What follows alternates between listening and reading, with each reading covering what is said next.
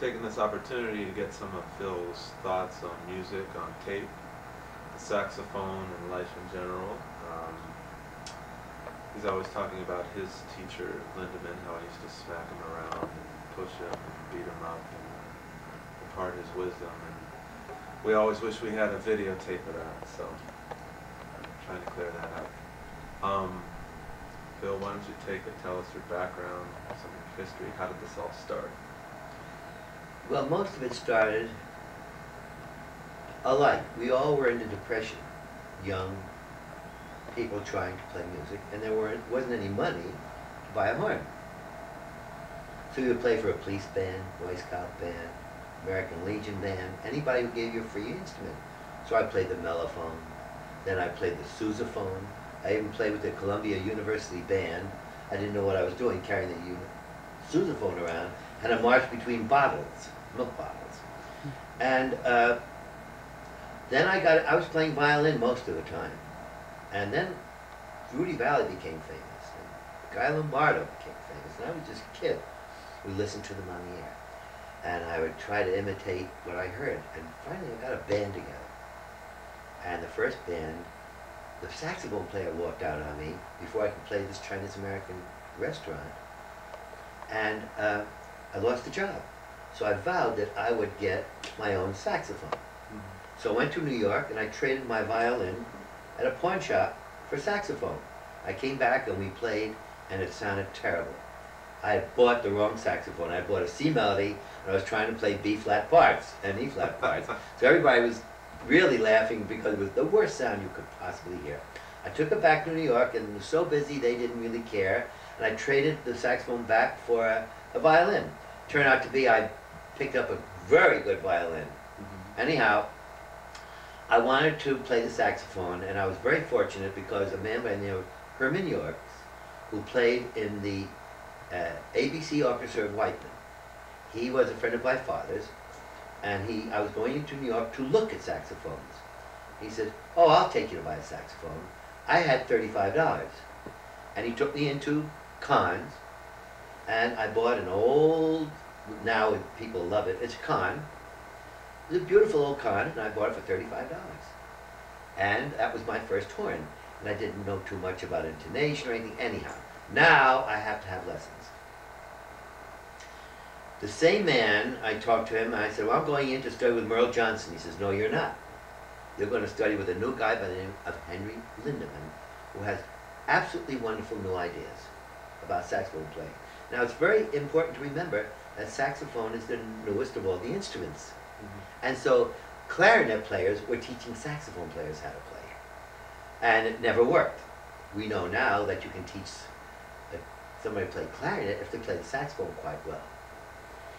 So I took, he took me in and I, I went, took my first lesson, had to come in from Long Beach, New York, Long Island to New York City, which was a real, it's like coming up Cahuenga Pass, you know, 30 years ago. Mm-hmm. It took a, it's a long time and very expensive to get into New York. And I took my first lesson, and I remember one of the first things he said to me is, I really don't need you. I, I don't know if I want to teach you at all. He said, I don't like talented people. They never get anywhere. He said, I'll get somebody half your talent who will work, and he'll be much better musician than you no matter what. Oh, I was 17 maybe, and I had tears in my eyes, and I said, oh, give me one week, for goodness, just one week.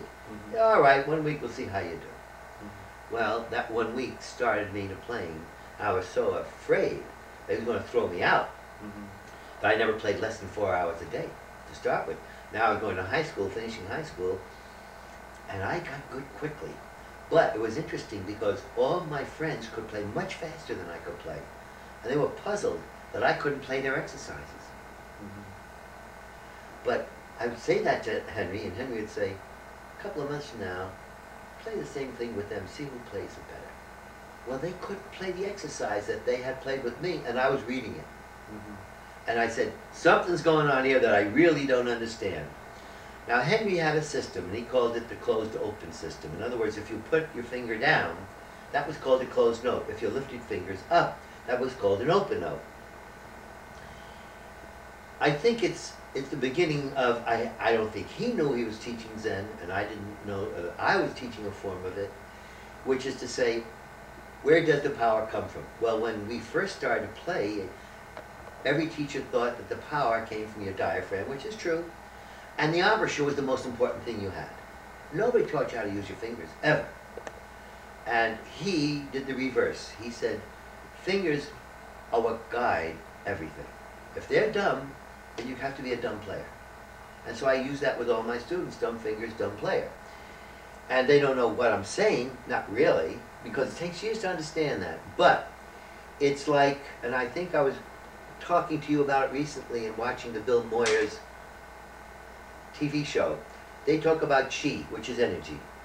Now, if you take the saxophone and you realize that if you play the wrong note, and he considered an open note the wrong note, and you're putting all your energy on that note, you are not putting your energy on the correct note. Mm-hmm. So therefore, you're really at odds with yourself. Now there is thing that happens, and there's nothing you can do about it. There are some people who are very talented and do work very hard and do not study this method. But they become what I call accomplished. There's a difference.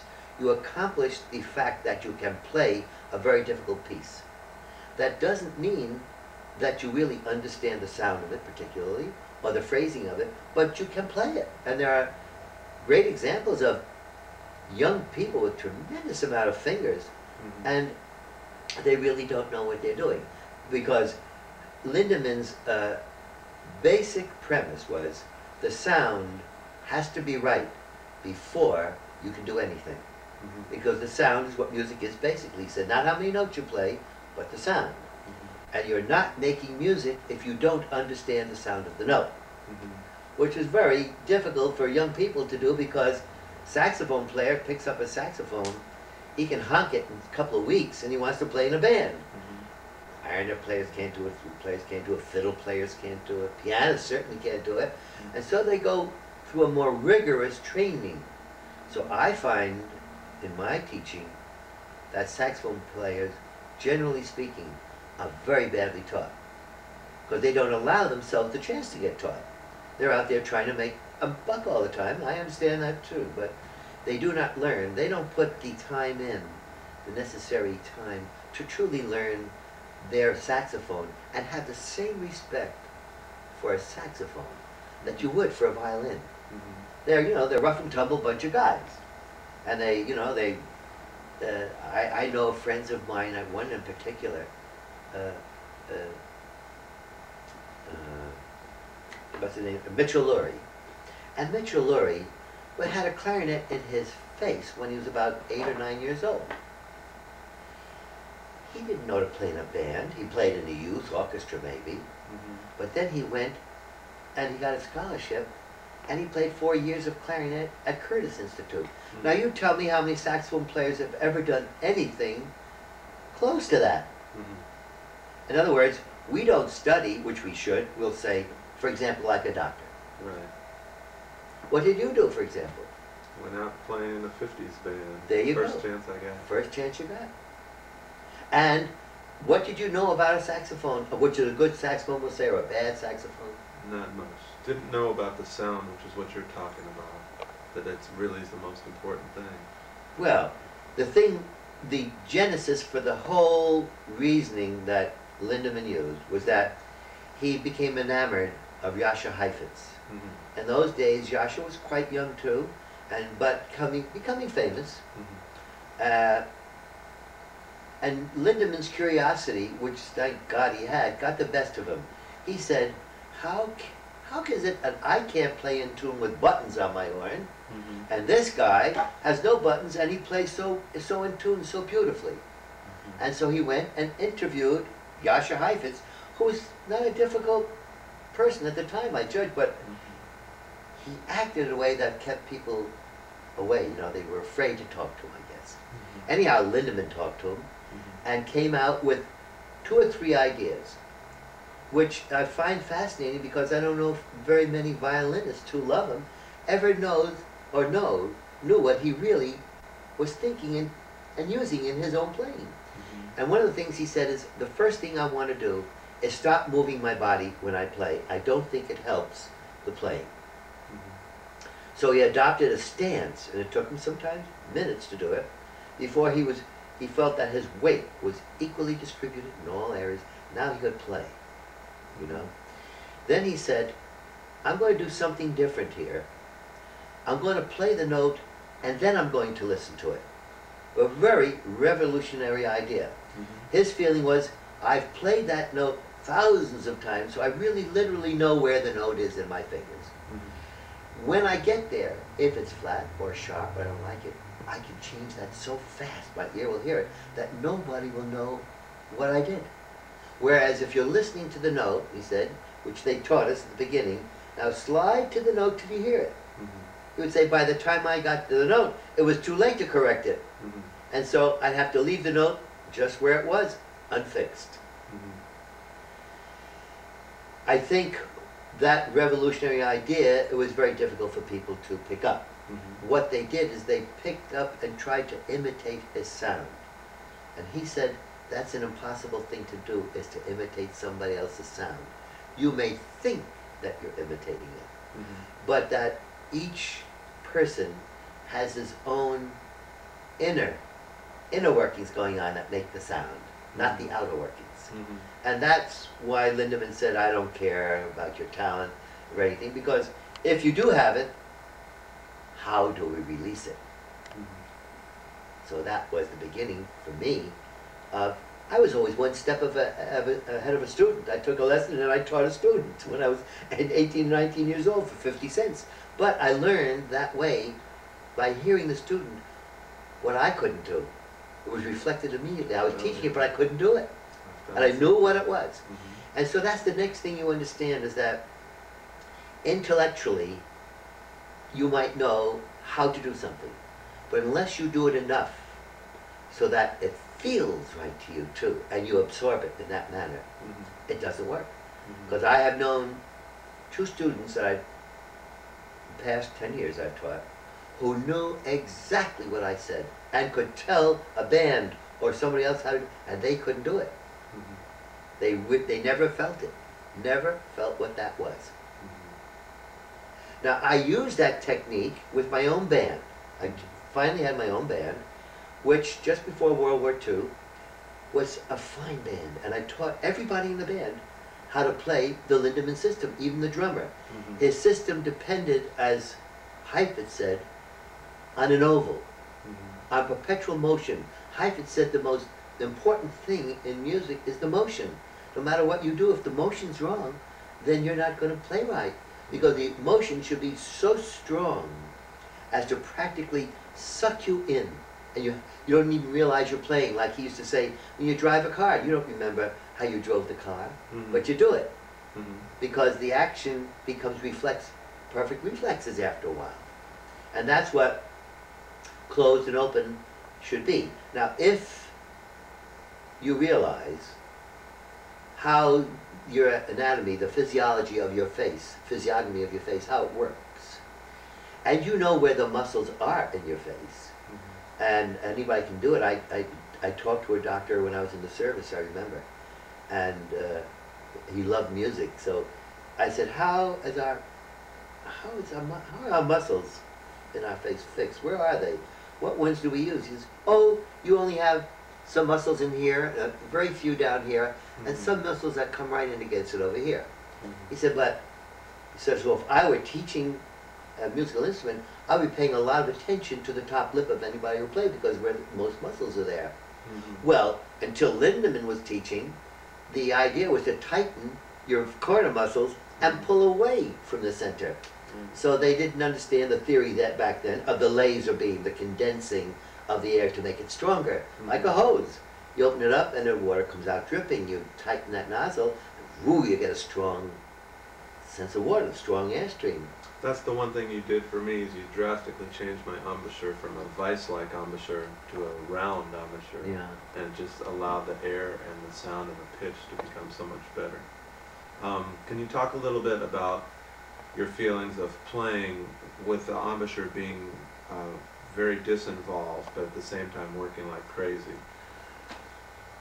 Well, the theory is that the, and I talked to a neurologist at Caltech about that too. The theory is that the fingers And it's still a puzzlement to neurologists whether the finger has its own brain or not. Mhm. Anyhow, they, they do send a message. Air doesn't send a message, the lips don't send a message. The fingers send the impulse that they see. Eye sees it, the impulse is sent to the brain from the finger.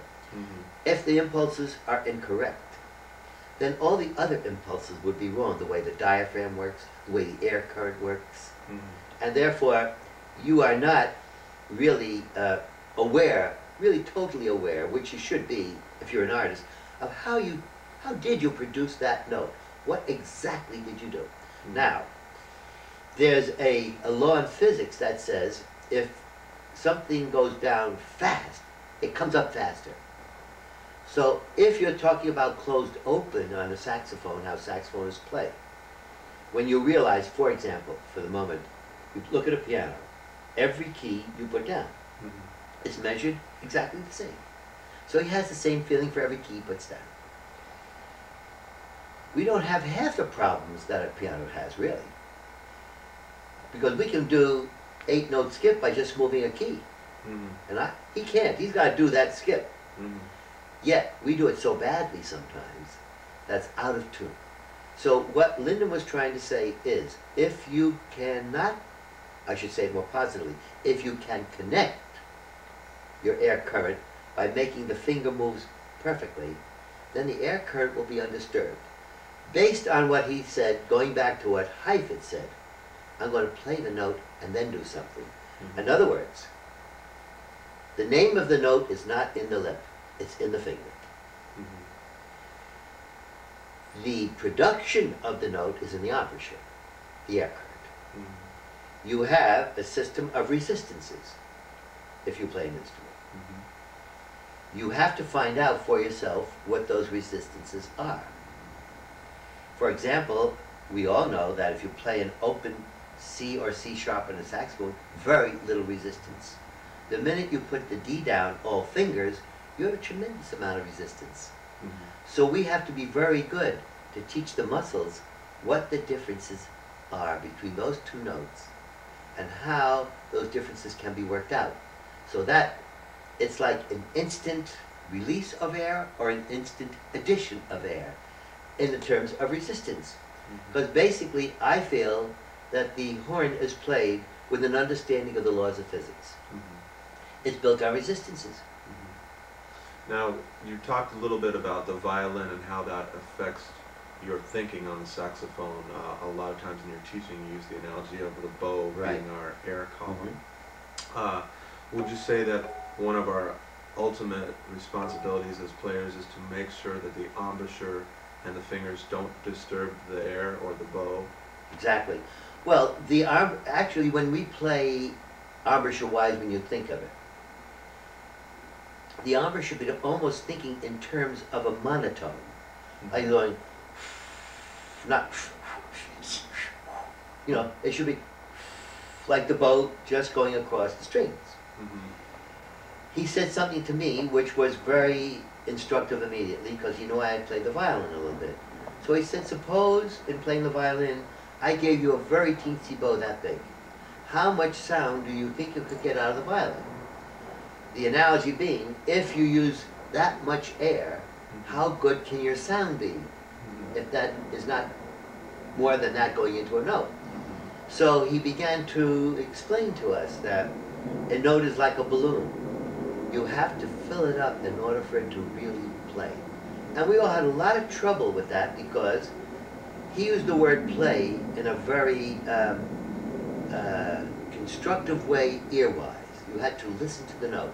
Whereas you could have played the note with your finger, looked at it and knew you played the note, but never have heard the note, not really, Mhm. how it was constructed. Mhm. And so he made sure that he used the word continuously. You did not play that note. And I'd say, I played the note. he said, you didn't. I know you didn't. What does he mean by that? He meant that, pardon me, that I probably, in playing the note before, we'll say it's a long tone, Mhm. when I made my entrance, I skipped right over the note. I went dee da da. By going da da, I don't know how much air I put into that note. Mhm. So he said, you have to know the beginning of every note. I thought he was crazy. Mhm. Once he sent me home after about seven minutes, eight minutes, because he said, "You really don't know where a note begins. Go home and find out." Mhm. And I come all the way from, you know, an hour's ride in, an hour's ride back, but I had ten cents left for a chocolate nut sandwich, There you go. and that made it, man. That made it. But Go ahead. what it does is it literally takes a different kind of person to play. There are some people who are very composed and relaxed, practicing scales, chords, which I think anybody can do anyhow. You don't need me for that. You, you don't need a teacher for that. If you're studying, you know when it's a bad note, a wrong note, and you can practice that. He said, don't bother me with that. But not that meant I shouldn't do it, but don't waste our time doing that. You can do that without a teacher. But how do you play the scale with your fingers? That's different. He made me play a C scale for hours till my fingers literally played it like I didn't think I was moving. For example, he would not let you use your arm, your hands, because he would make you droop your shoulders, Mhm. because he said if there's tension in the forearm, it immediately inhibits the fingers, and, and they're too stiff. They're, they're not they're not fluid anymore. They're not relaxed, Mhm. which is obvious after a while. Mhm. And so part of my studying for the first six months was relax those forearms all the time. Mhm. And it, it was amazing to find out how tight your forearms are. I'm and here I finding that out with yes. Well, most people don't listen to me. Yeah. And, and it's the sim- the simple things are too simple for people. They take it like, oh, that's unimportant because it's simple. Yet the whole simple thing is the most difficult thing to do. Yeah. Putting a finger down correctly. He used the word put. You did not put. And he would drive us crazy because I think, oh, I put my finger. No, you didn't put your finger down. Mhm. Well, we'd come out and we'd, the, the students would hang out together. What does he mean? I didn't put my finger down. What does he mean I didn't have an oval? Mhm. Well, I interpreted it by saying there are no lines in music because music never comes to an end. Lines come to ends. They may connect, go that, but then it's over. The oval always connects. It never leaves an opening in it. And so the art of filling up a glass with water so that a note looks like the glass or a test tube or a balloon is an art in and of itself. Mhm. Any you would go to junior high school, kids can play all the notes. Mhm. They play in bands. That's not the art. Mhm. The art is to take a note like a piece of clay and develop it into the finest sound you can think of. Mhm. My quarrel with today's players uh, is that they're more technically influenced than they are sound influenced. And therefore, the true development of the person, the chemistry, the metabolism of that person, in how, however they want to look at it, they're not going deep inside themselves Mhm. to find out what is their particular sound. Mhm. Because that's the connection you make with another human being, is your own sound and your own voice. If the person has a very dull voice, you hardly want to hear them. Mhm. How many times people go to hear a, a lecture, they say, God, I could hardly listen to that guy anymore with that droning voice of his. Well, that's the same thing with saxophone players. To me, saxophone players today, too many of them have a very droning sound. It, I can't hear any color in it. Mhm.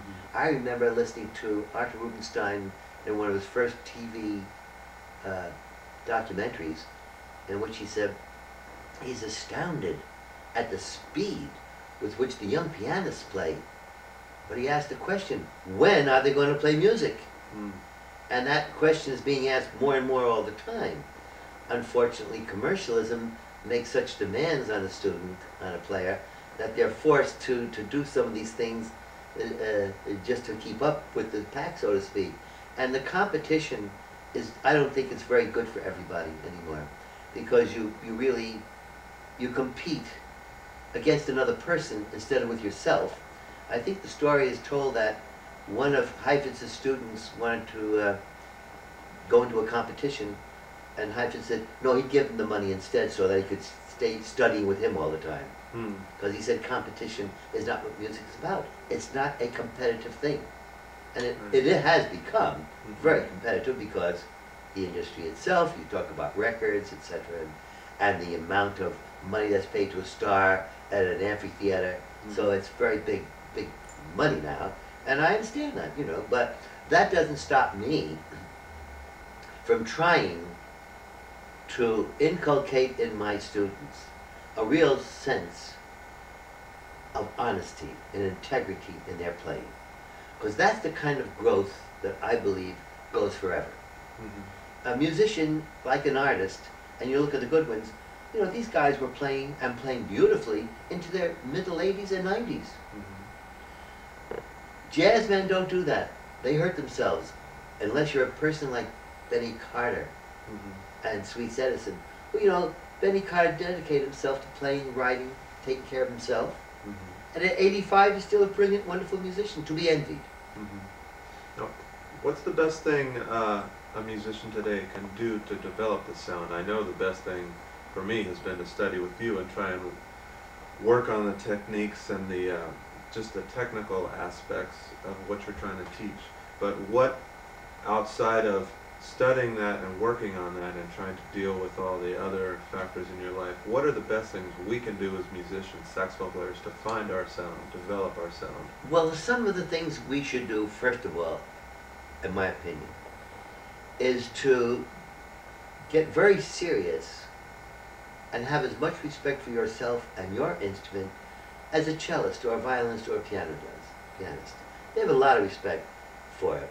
Uh, then the art of listening should be developed. Like, you should listen to uh, famous concert artists. You should listen to very important music and see, listen to the sounds that are made. Because that's all composers are doing. They're, they're making sounds and making uh, uh, phrases that are important. They're making music. And uh, the important thing is to remember that's the first thing you're supposed to do is make music, make sound. Now, one of the reasons that I like teaching so much is that I hope my students will go out and be as serious about their teaching as I am so that I know that my students are, are- uh, have a lot of respect for themselves and their horns now, which means they never treat it lightly or, or, or trivially anymore. They really, they're looking at that instrument and they're making demands on themselves like a real, honest musician should make. Mm-hmm. He, he doesn't get smug. He takes nothing for granted. He doesn't think he's good. He always thinks he can get better. And sound is a very investigative kind of thing. It's worth talking a lot about with other peers and see what their ideas are and so forth. And um, uh, I remember when I grew up, I'd come down from a lesson, and Coleman Hawkins, who was absolutely famous then, you buy reeds in Sylvan Hall. Also, Wingy Manone be on the corner. Also, there'd be Fats Waller. Hmm. Also, I'd see the famous saxophone players going across the streets to Selmer. Mm-hmm. These guys would stop me and say, "How your lessons going?" Mm-hmm. You know, and I, I'd say, "Wow, Coleman Hawkins has asked me how my lessons are going. I'm curious. Curious, is what are you studying?" And Fats Waller said, "Kid, I see you every week. You're serious about your playing. You're studying a lot, huh?" I said, "Yeah, I can play your song." Yeah, he said, "You can? Yeah, I, I can play your song." and he, he got a big kick out of that. Which one? Honeysuckle Rose. Okay. And um, and he used to stand there swinging his, his chain and his pork pie. But every every week he'd be there. He, he'd engage me in conversation. And Coleman uh, was very interested in what I was doing. And then a um, a very serious saxophone player by name I think his name was Hilton Jefferson was studying with Henry. Mhm. And he was with think that was his name. I'm trying to remember. And he was with uh, Cab Calloway's band. And we were both so enthusiastic about what we were doing. Mhm. And he, he generally, I feel, he took it back to the band. Mhm. And I, he introduced me way back to uh, Cab Calloway, Chu Berry. These are Joe, famous guys in the band, you Mhm. know, Dizzy Gillespie. And, uh, and I'm sure that the subject of how you use your fingers came up. Because if you just look at the way Dizzy's fingers go, they're so quiet when he played a million notes. Look at the way uh, Charlie Parker's fingers go. Mhm. They hardly move them. He learned that from Lester. Mhm. And that, that, that's a technique that very few people understand. When my students see Phil Woods' fingers hardly moving, and Charlie Parker say, gee, Phil, you're right, their fingers don't move. It's like, you know, uh, uh, uh, they think I was kidding them or something, or lying, or, or making something up. But there are very few people who take the motion of the fingers that seriously and understand the use of the fingers.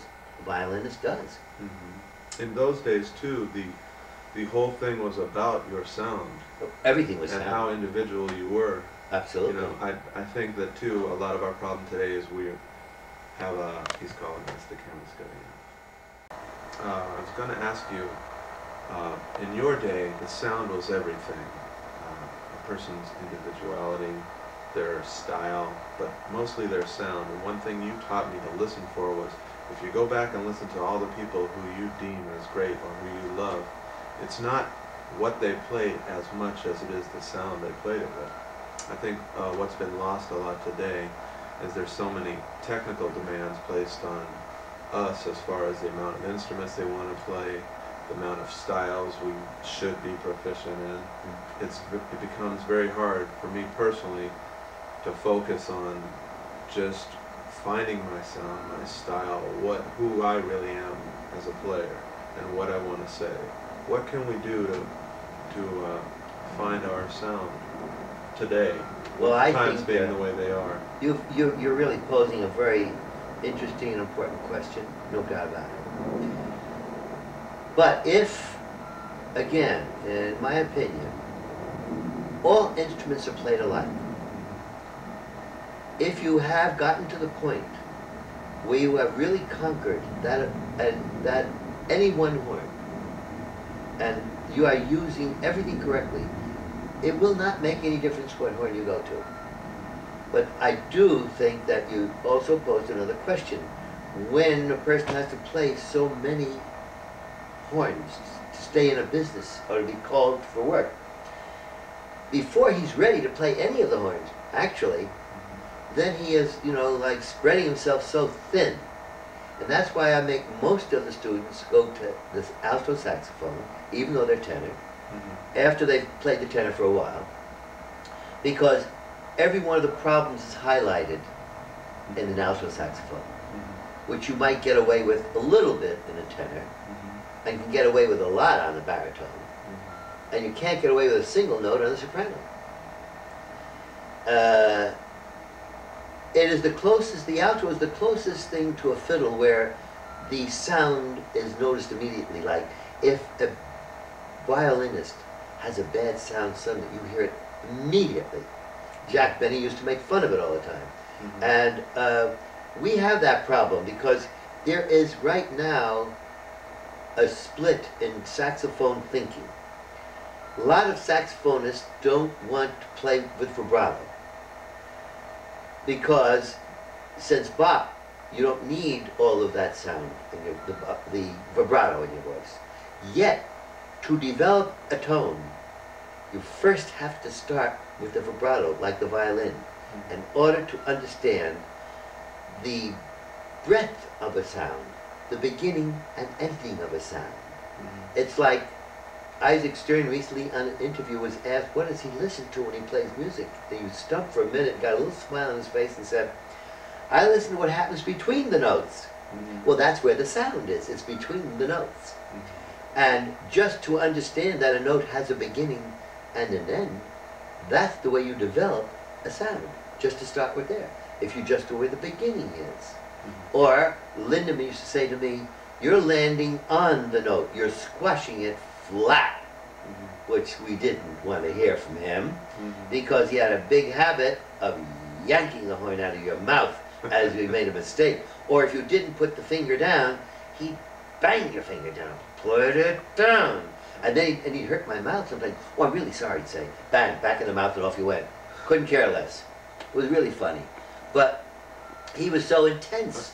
And I understood that. But you know, intuitively, I think, I didn't know what he was saying. Mhm. But I knew that every time I did exactly what he said, something good happened. Mhm. And I could tell, God, I wish I could do that all the time. I got some sound by putting my finger down that certain way. What was it I did? Mhm. You know? Mhm. Well, he was constantly saying things like, the sound is in the bell, not in you. You hear today, guys are trying to make a sound. Make it. You, nobody can make a sound. Mhm. I always say you can't make anybody love you. You can allow that to happen. You can open yourself up, but you can't make it happen. And so uh, I had to learn what that meant. Don't make a sound. That means don't play the horn from your mouth. Mhm. Play it from your fingers. Mhm. Because that's the message. There's no message up here. Here's the message. Play it with your fingers. Well, you know, you just go back to a great Segovia. You watch his fingers. Mhm. And that, that you're fascinated by, you don't look at him or anything, you just watch his fingers play the instrument. Mhm. Well, you look at the bird play, Charlie Parker, and you're fascinated with his fingers. You can't tell if he's playing slow or fast. Right. Well, that's a skill. And that's what Lindeman was teaching. Mhm. He was teaching a skill. Mhm. He didn't care what you were going to do with it. He thought that he could make anybody play an instrument. Well, I feel the same way. That doesn't mean that you can become great, but anybody can learn to play an instrument. Mhm. Uh, there's a wonderful book I think everybody should read called All Thumbs and Tone Deaf. Mhm. And it's by a neurologist, a doctor in San Francisco in UC Medicine School. Mhm. He's a professor. And uh, he didn't start to take music up between 45 and 50, I think. Mhm. And the way he talks about it is, is fabulous. It's changed his life. He thinks everybody from the age of 45 on should study an instrument Mhm. because it'll make you healthy. Mhm. Well, you see, again, that's the part I'm missing with the students that are, with the players today. They are not doing the healthy thing. Mhm. They're not getting inside themselves. It's too much external playing. And that's not very satisfying, really. Mhm. It's when you're truly in touch with yourself that it really begins to happen. It's like it took me a long time to really love the Duke Ellington band, but it's because they were really getting to it. And I hadn't learned to get to it myself yet, so how could I get to the Ellington band? I couldn't. The most basic thing was like the Basie band, you could understand them quite, quite well right away Mhm. more primitive. But the Ellington band went so deep, and the players did, all of them. Well, they know who they were. I don't know how many people. I think Phil Woods might know who he is a bit. He's he was a serious player. He is a serious player, and um, he he his role models were uh, Johnny Hodges, Benny Carter, the role models, uh, and Charlie Parker, and that's pretty good, you know. And he still feels that way. So if you listen to him play, you hear a very very personal sound, Mhm. very ringing sound. Mhm. And that was Lindeman who always said, make that bell ring. That's where the note is, not in you, it's in the bell. See that it rings. Well, if you just did that, you'd be doing something fascinating to discover how that works. Mhm. I didn't realize until one of my students whose father's a kind of a physicist that when Lindeman was saying put your finger down slowly Mhm. so that it wouldn't come up that fast, I didn't realize it was a law of physics Mhm. till my student told me that. Now, how does the finger movement affect pitch? Well, if you guide the air to the note very smoothly, absolutely, the timing is exactly right, Mhm. you're going to get a much better tone and a pitch than if you jump in a note. Mhm. It might be too late to fix anything about it. And there is also something, I'm not too sure about it myself, but Lindeman used to say to me something like, not very often, but I, I remembered it. He said, I'm not worried about your intonation, I'm worried about the pitch of the sound. Mhm. And that got me, you know. And finally, every night he said, I like that pitch you're playing with. And I realized he wasn't talking about intonation, he was talking about the sound itself. It was either dead or alive, Mhm. or it was ringing or it wasn't ringing, things like that. And suddenly I begin to hear that. And, oh boy. Now, the reason I knew it was right is because when I was a kid and I would go into the NOLA studios, uh, to audition for a band. Well, I was scared most of the time. These guys were ripping off a mile a minute with notes with their fingers. And I start to walk out once of a big band, and the leader said, "Hey, kid, come back here. Did you bring your horn to play?" I said, "Yeah," but I said, "These these guys are good. I'll see you later." He said, "No, you come in and play." And I sat down to play, and he says, "I want you to do the job." And the other guy said, "Geez, why, why, why would you want him?" He says, "His sound is so good. He can learn the part. He'll learn it. But that sound is what I want." And the sound is where we get the pitch from, isn't it? That's where it comes from. If you have a bad sound, how could you have intonation? Good intonation. You have to have the bottom of you have to have the note. bottom of the note to play it right. And how few people think of going to the bottom of the note? They go to center. Well, you get the center by going to the bottom. Mhm. How do you know where the center is? I, I think we have talked about this a great deal. That a cellist and a violinist, they see their bow. Mm-hmm. They are taught physically what to do with that bow. Mm-hmm. Most upbeats start with an up bow for them, and they are taught to use that. Mhm. We have only an air column. We can't see it. Yet we have to manipulate it just as well as when, as if we had a bow in our hand, mm-hmm. you see. Now, most people have no idea what their air is doing, and they have never learned to see it. I see my air current. Mhm. I try to make it analogous to my to a bow in my mind. Mhm. So it's the connection between the fingers, between the notes. Right. Because actually, if you're lo- doing very slow photography process, you would see the finger come down just a fraction before the air comes in. Because the finger should be leading the air right to that note, not the reverse, which a lot of people are doing. They're blowing the note, and then their fingers can't do what they want them to do. I've seen this with awful lot of musicians, good players, Mhm. who's who get the idea and the thing and the sound from up here before their finger plays it from their mouth. Right, they're hearing it before They're they play. way before they play it. Yeah. And they try to play it up here before they finger it. It cuts can't off work. the air Because now you're talking about timing. Yeah. And all art is a matter of timing. I mean, all you have to do, uh, you don't remember, but people who remember George Burns, he's still alive doing his thing, Mhm. you know that he does, doesn't say very much. Mhm. But when he times that certain word a certain way, they, people break up. It's just recently I, I was listening to myself play and listening to my students, and I think we've been talking about it recently, where I suddenly realized Lindeman had a saying about Heifetz. He doesn't play all the notes. He never misses the notes he has to play. Suddenly I reduced that this week myself to saying, wait a minute, that's like saying truly. That if you look at a sentence, there are a lot of ifs, so, but, then, because. Now those are important words to say, like all the notes are, but there may be one word like reprehensible or you're irresponsible, which takes precedent over if Mhm. and but and and so. And that's what Lindeman was trying to say. There are some notes you must play. Mhm. Because his development of the idea was that if you played a very good note, you put your finger down absolutely correctly, Mhm. that the next note would be a very good note. Mhm. If you didn't, the note after it could be a very bad note because you misplaced the air. Now you're always saying that we play backwards. We play the high notes too loud, we play the low notes too soft, we play the long notes too long, and the short notes too short. Right. How do we reverse our thinking?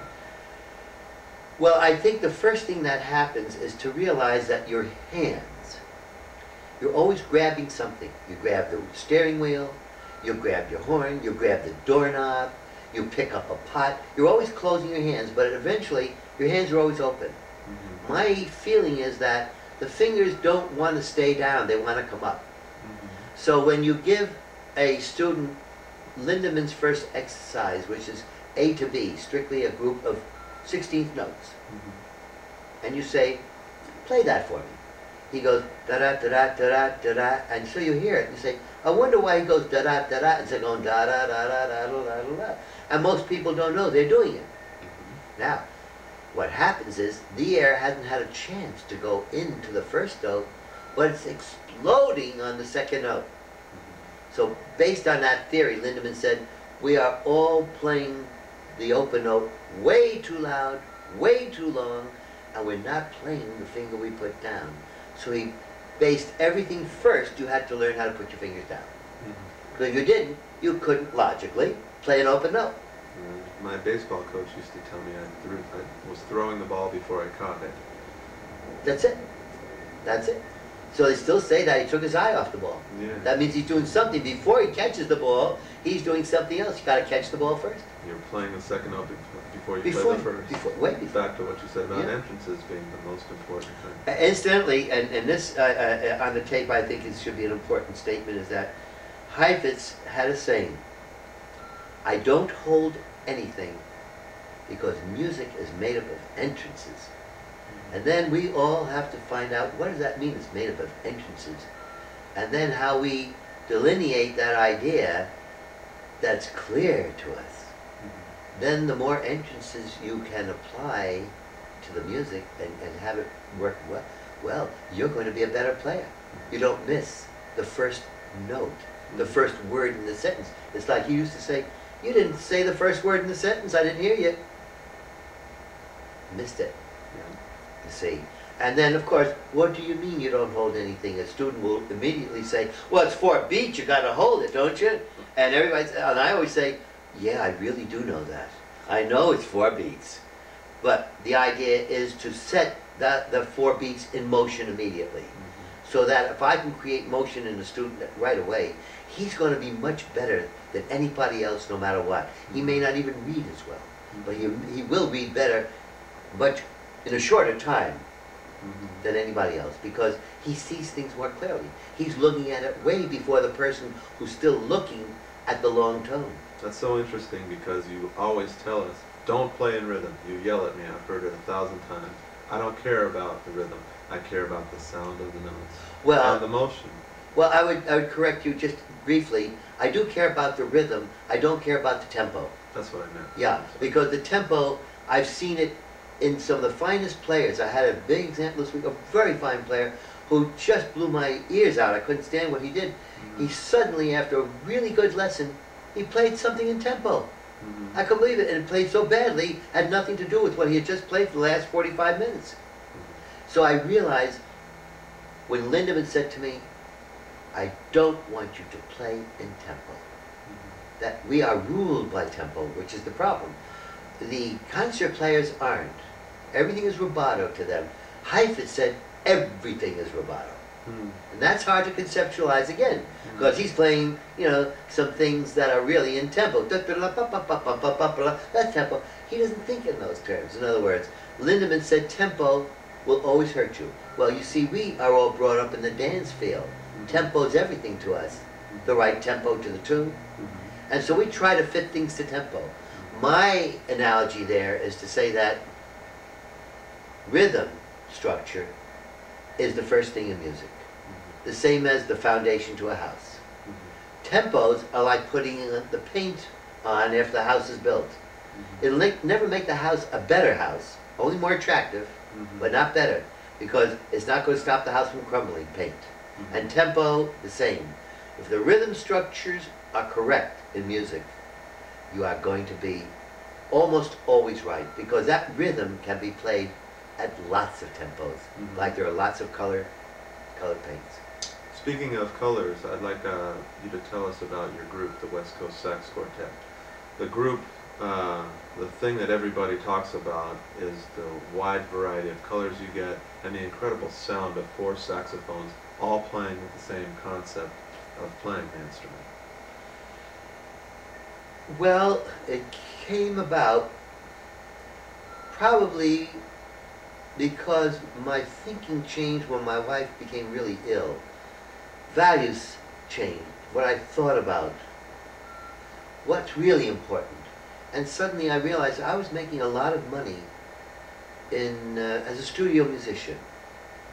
And pretty well thought of, and, and thinking I was pretty good because I was a studio musician, because they were always a studio musician. Uh, and I suddenly heard lots of studio musicians that I didn't think were that great. But then Mitchell Lurie one day said to me, uh, I'm going to leave the studios, Phil. I, I, I'm not satisfied here. I just have to play. He said, I think you should get out too. I hope you do. Well, it was very difficult to give up the money and, and feel secure that I could make it without being in the studios. And um, I decided finally, it took me almost five years, four years from the time he told me to do it. And my son had also said something interesting. He said, you've done it all, Dad, why don't you just do what you want to do now? Mhm. So I recruited two students of mine and a very good friend and a terrific musician by the name of Pete Terry. And we were very good friends and he was interested in the Lindeman system. And it thrilled him later in life to find out what it was like. Anyhow, we played. And my objective was, we discussed it. My objective was to say, you think it's possible for a saxophone quartet to play with the same kind of enthusiasm, integrity, and honesty and skill that the Guarneri string quartet plays. Mhm. And they said, oh boy, you're not asking much, are you? I said, it's just a standard to look up to. Mhm. We may never get there, but what a fun thing to try. Mhm. Well, Leo Potts had come back from studying the Paris Conservatory and now was studying with me. So he knew quite a bit about the quartet music and stuff like that. Very helpful. Chris Bleth was a student and I knew he had tremendous amount of talent. He didn't believe it, but I knew it. Mhm. Very self-effacing young man. Wonderful. He's only starting to realize he's good now. He's a wonderful person. And Pete wanted to play it desperately, and I played it. I wanted it, and I and also I had been playing the soprano in the Laughing Show, and that started me to say, "Wait, this is a tough instrument." Mhm. I was making fun of it on the Laughing Show, but here I really had to play it, and I really fell in love with it. And so we started, and uh, we had a lot of rehearsals and, and a lot of philosophical discussions Mhm. about how you do it. And my point was, I do not want to be a commercial quartet because you could do that. I said, no, let's see how much we can expand our musical knowledge, our abilities, our skills, and just stretch out as much as we can musically. That was a real goal of ours. Mhm. Pete was an, a wonderful musician, and he played the baritone, was a great help. Mhm. And we studied the music quite hard, and we realized what we were going to have to do. And the first thing I said is, look it, our sound is different from anybody else's sound. It's a combination of very good studying, and Pete and I have a very long standing of jazz background, Mhm. which we try to incorporate, which is that richness of sound that I don't hear in classical players, and I still don't. And, uh, and, and incorporate that part of the classical playing that we all studied, Lindeman system, so to speak, into playing these tough things Mhm. and learning how to play them through the system, which was intriguing. It was tough because we were about to be judged on other aspects of playing other than what we were doing. We didn't play fast enough, some people would say. Uh, uh, we uh, were too much into the sound of the playing and not more into the technique of the playing. Mhm. And we said, well, that's basically what we're trying to do is to develop a sound so the group has its own particular sound. It's the first thing we want to do is develop that thing where somebody would say, it's an instrument playing, not four, Mhm. which is what you hear with the Guarneri String Quartet. It's one instrument. Mhm. And it's been absolutely the most intriguing for all of us. We've had some tough times yelling at each other, which is all right, you know, and I, and because I, as a teacher, I sometimes tend to be too tough on the quartet. Mhm. But uh, in order to be a good musician, I feel one has to be vulnerable. You cannot stand in denial. You have to be able to take criticism and you have to be able to give it as well. And uh, not get upset by it because that's how you learn.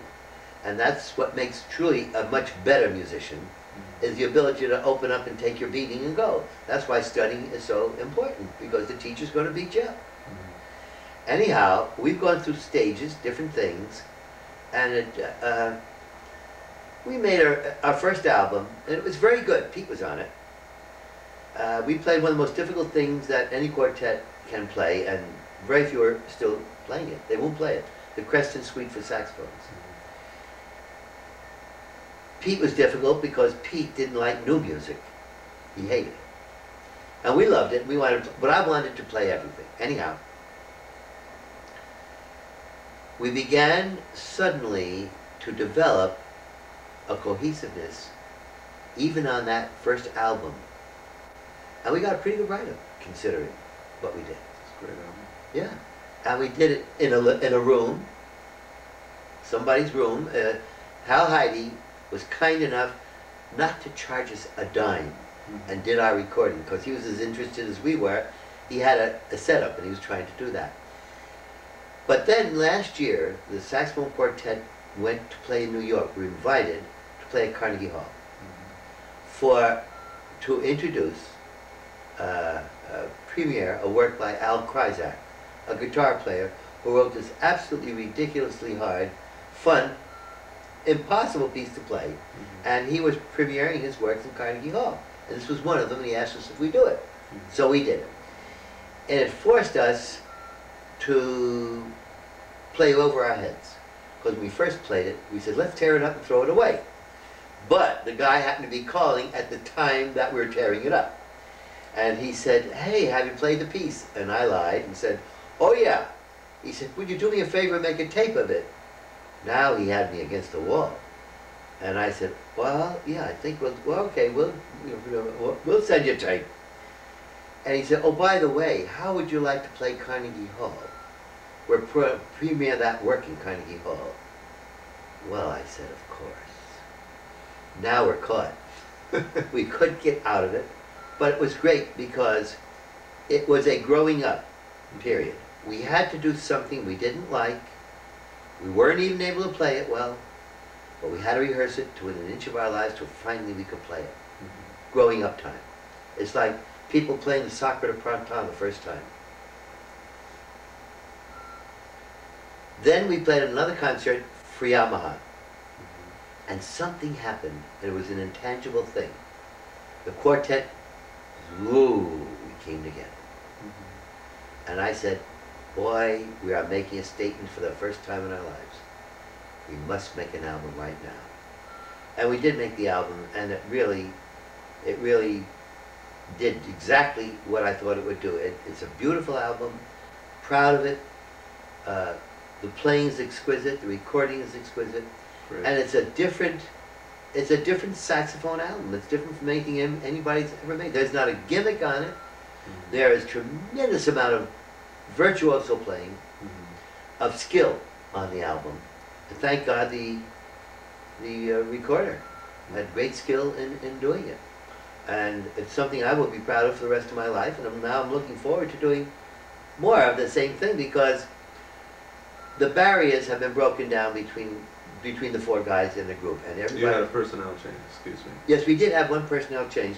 Pete left to move to Montana, and I moved uh, uh, Chris Bleth, who was playing the tenor, to the baritone, and I put another student of mine, uh, a remarkably good player, uh, Mark Costner, on the tenor, and I must say, uh, uh, the group has really grown since then immeasurably. And uh, but the interesting thing is, is I wanted to open up the idea that you can't be nice to each other in a group. Four disparate temperaments and personalities. That will meld to make a particular sound. Mhm. Only if we all understand everybody's got the right to be who he wants and say what he wants. Mhm. Even though it might be something, well, I don't like the way you played that. Why didn't you play it this way? Fine. Well, you know, you're always out of tune on that one note. Mhm. So you have to work through that. Mhm. Uh, I, I, I, I did something once. I, I attacked one of the guys, and it hurt him very much. Mhm. But he had to work through it, Mhm. and he has worked through it, and it took him over a year. Mhm. And just last week, in rehearsal, he said, "Boy, I'm, I'm a lot different than I was, and boy, it thrilled all of us. He said, I guess I had to go through some tough times to be able to laugh at some things I couldn't laugh at. Mhm. That's wonderful. Because when you're dealing in music, it's a philosophical and psychological thing. Mhm. I mean, the actual fact of reading and counting music, that's not such a big thing. Mhm. Well, kids can do it in, you know, in high school and junior high. That's not the problem. The problem is presenting your deepest feelings on the instrument when you play it so that you can communicate to the listener. Mhm. That's the name of the game. Mhm. And that's what all we're really doing now is trying to make a sound that communicates itself to the listener, whether it's modern or not. Mhm. And we, we played last week a workshop at Valley College for the American Society of Musical Arrangers and Composers. And a lot of very important composers were there. Mhm. And one of them came down to me and said, that's a remarkable sound. Mhm. He said, it sounds like, like, like a hole in the ground, and the four guys are feeding the sound in the hole in the ground, and now out comes the sound. It's, and I can't tell you, it's not any instrument. It's the sound of one instrument. He said, it's so powerful and gorgeous. It's an incredible sound. Well, then we have accomplished something if we can do that. Mhm. That's really something. That means that we have our own sound, our own style, and if we get a chance to play it, you know, in, in broader terms, which I hope we will get to do, uh, then